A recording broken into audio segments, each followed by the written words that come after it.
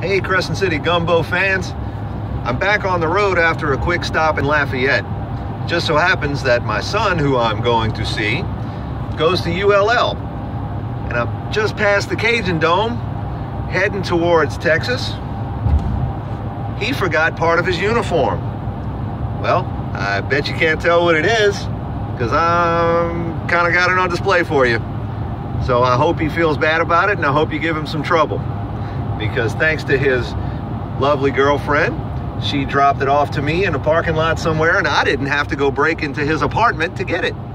So, back on the road, big shout out to the Pride of Acadiana. My son performs with them. He plays quints or tenors or sexts, however you want to put it. It's a lot of drums to be carrying around out there on the field. So, big shout out to you guys. Keep performing, keep tearing it up. Still one of the best college bands out there, if not the best on my way to the WGI event happening in Katy, Texas. I'm ready to go see some percussion. I'm ready to hear some horns.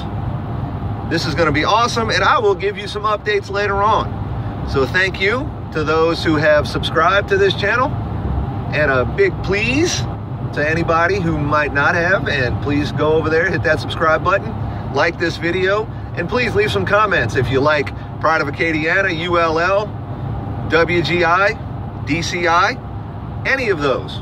Or make some up. Tell me about some new ones. Looking forward to hearing from you. Looking forward to seeing you. Looking forward to uploading some more content. Thanks for tuning in. We'll see you soon.